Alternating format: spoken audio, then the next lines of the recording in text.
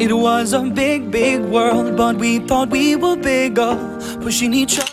Este sábado 15 de diciembre, musicalmente tremendas, Raquel Suaje con Sol Quesada darán un show impresionante. En esta nota conversamos con Sol. Bueno, aquí estoy en medio de un ensayo con Soledad Quesada, que acaba de llegar de Buenos Aires para su próximo show. Qué divino, un show acá con vos, terminar el año así. Agus, divina, ¿cómo estás? Feliz de estar en tu programa, un placer. Ah, no, no, te adoro, así que estoy feliz.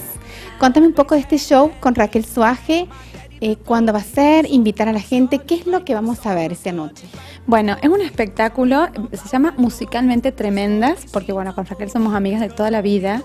Este, y siempre nos unió lo artístico, la música. Y bueno, esto es una propuesta muy diferente porque es eh, dar homenaje a las mujeres, a las mujeres tremendas que, luchamos por lo que queremos, que, atravesamos todos nuestros miedos. Entonces yo creo que va a ser divino, va a haber una gran puesta, de, hay una producción muy fuerte este, y unos músicos impresionantes, Quique Yance, con dos músicos más.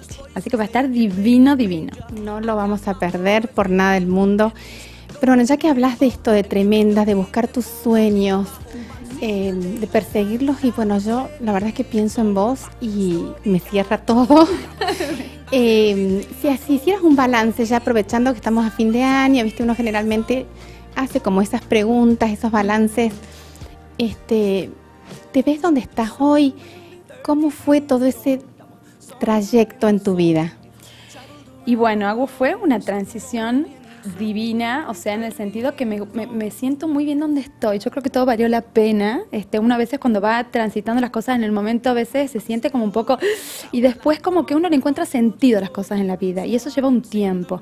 Y estoy feliz, primero haciendo lo que amo, que es la música, con mi familia también, que es lo que siempre yo había querido encontrar, tener.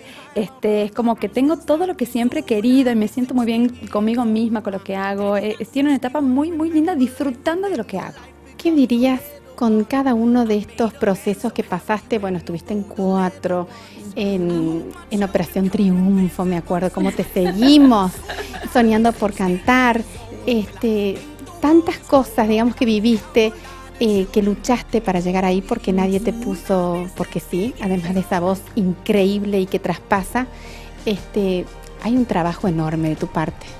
Sí, por supuesto, hago un trabajo espiritual, claro que sí, es la, la base de mi vida, es lo que me ha sostenido y me sigue sosteniendo en este camino este, como te digo, que, que, están de altibajos, de cosas en el afuera, de cosas que pasan, de gente diferente a uno, de gente, es como muy fuerte, es un, es un, un ida y vuelta todo el tiempo y uno tiene que estar muy centrado en uno, ¿no? Y como estar mucho más allá de las cosas, trascender, trascender, siempre estar trascendiendo y ver más allá, entonces como que yo creo que esa es la, la, herramienta que yo tengo en mi vida como para poder realmente disfrutar de lo que hago este, y hacer lo que me gusta.